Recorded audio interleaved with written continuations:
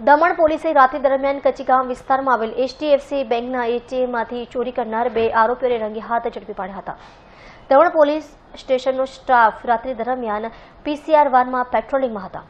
તે વખતે કચીગામ નુપર ઇન્ડસ્ટ્રીઝ પાસે આવેલ એચડીએફસી બેંકના એટીએમમાં બે ઇસમો અંદર ઘૂસી હથોડા વડે એટીએમ તોડવાની કોશિશ કરતા નજરે પડતા પોલીસે એટીએમ તોડી તેમાંથી ચોરી કરવાની કોશિશ કરનાર નાની દમણના કચ્છી ગામમાં આવેલ ભગુભાઈની ચાલ ખાતે રહેતા રાકેશ ચૌધરી અને કુલદીપ રામરત્ન પાલની ધરપકડ કરી હતી.